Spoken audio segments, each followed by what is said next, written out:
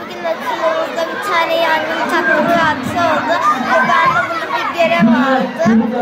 Ee, yan, itfaiyeciler bize ne yapacaklarımızı söylediler. Mesela ya- yangın olduğunda merdivenlere, merdiven ve asansörleri kullanmayacağız. Dışarıya veya balkonlara çıkmayacağız. Üçgen olacağız. Ee, ben ambulansa bindim. Orada biraz korkmuştum. Ama aslında sahteydi.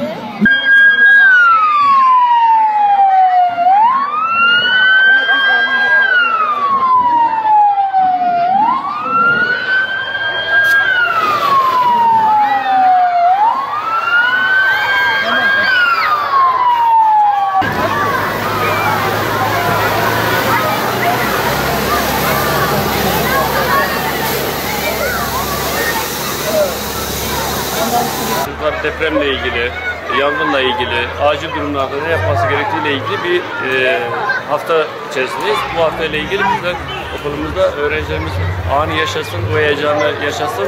Bir de e, bu bilinç, bu kültür oluşsun. En azından e, acil bir durumda, deprem olduğunda ne yapacağını bilsin. Ya da yangın olduğunda hangi numarayı araması gerektiğini bilsin.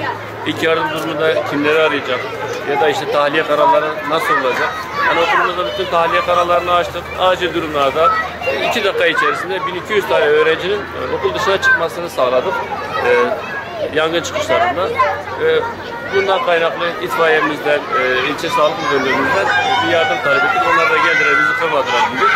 Ben burada emek veren tüm herkese çok teşekkür ediyorum.